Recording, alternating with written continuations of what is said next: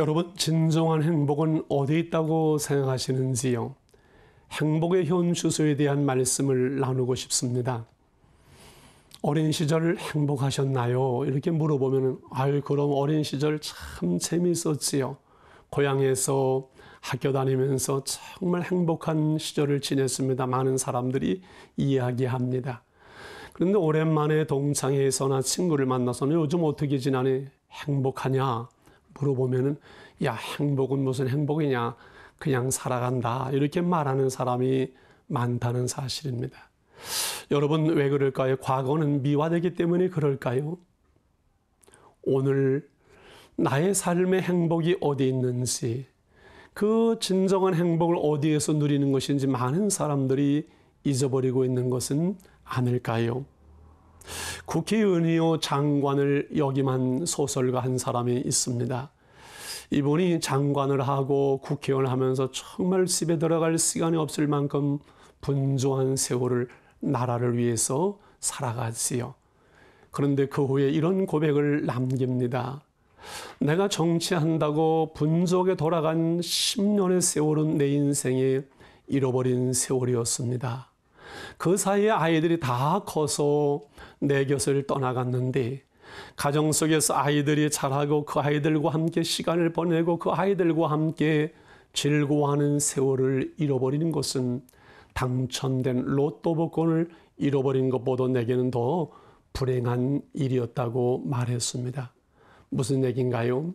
인간의 행복이 높은 데나 화려한 데나 엄청난 데 있는 것이 아니라 하나님은 모든 사람들이 행복할 수 있도록 우리의 진정한 행복을 평범한 삶 속에 오늘 한날의 생활 속에 그리고 우리의 가정 속에 두셨다는 것입니다. 이를 위해서 우리는 먼저 나 자신과의 관계를 바르게 하는 것이 중요합니다. 대접을 받고자 하는 대로 먼저 남을 대접하라 말씀한 것처럼 사람이 자기 자신을 존중히 여기고 나 자신을 대접을 하고 나를 사랑할 수 있을 때에 행복할 수 있고 그리고 남을 사랑할 수 있기 때문에 그렇습니다. 한 번은 선교단체에서 아침 예배가 있어 인도를 하면서 한 100여 명이 모인 가운데 여러분 내 자신이 정말 나는 사랑스럽고 나는 내가 정말 좋아요, 행복하요 하는 사람은 손 들어보세요 했더니만은 한 다섯 여섯 명밖에는 손을 안 들더라고요.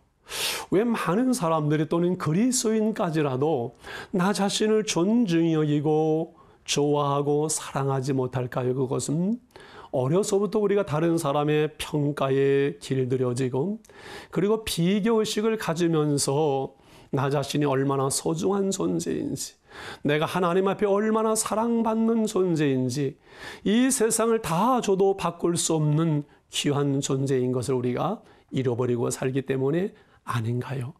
여러분, 우리는 하나님 앞에 참으로 소중한 존재입니다. 이 자신과의 관계가 바로 될 때에 이제 다른 사람과의 관계를 바르게 할 수가 있습니다. 오늘 만나는 내 이웃, 내 가족 식구들을 진정으로 사랑하고 존중하면서 너와 나와 우리라는 그 관계 속에 우리는 행복을 누리게 되는 것이지요. 인생 수업의 저자인 엘리자베스 킴블러 로스는 이렇게 말을 합니다. 그는 암이나 병으로 죽어가는 수많은 사람들을 케어하는 호스피스 운동을 하면서 모든 사람들이 다 죽어가는데 인생을 살아가면서 가장 소중한 것은 무엇일까? 그것은 사랑이라고.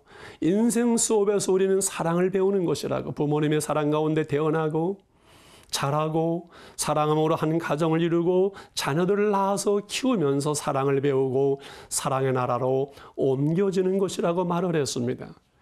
인간의 불행은 죽음이 아니라 그 죽음 전에 정말 인생에 무엇이 소중한지를 알지 못하는 것이라고 그는 말했습니다.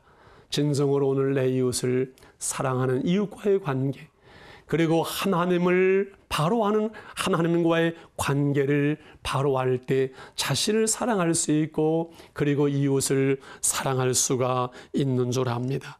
신앙은 바로 이 관계를 회복하는 것이지요.